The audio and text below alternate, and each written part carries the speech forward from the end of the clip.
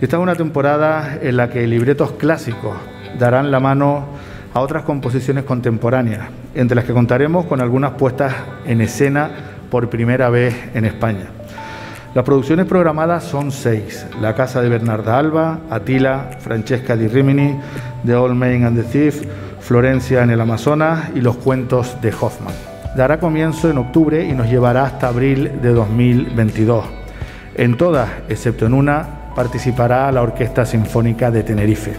La situación sanitaria que vivimos y los constantes cambios con las medidas de seguridad en función de los niveles de alerta nos obligan a vender de forma paulatina cada una de las óperas y el precio para el público oscilará entre los 20 y 70 euros, aunque en Cabildo mantiene el precio de 5 euros para los menores de 30 años y ofrece descuentos para desempleados, familias numerosas y los abonados de la temporada 19-20.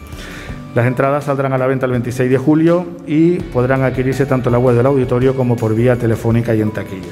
Yo creo que es una temporada que recoge de manera muy eh, coherente lo que ha sido la trayectoria de Ópera de Tenerife desde su inicio. Es una programación que ha querido abrir campo y territorio en el ámbito de la, de la modernidad sin renunciar a los clásicos y sin renunciar a que los modernos hablen en un lenguaje musical tonal eh, clásico. Así que el papel de la mujer, la literatura, está, vertebran de alguna manera esta, esta programación que esperamos que sea del agrado del público.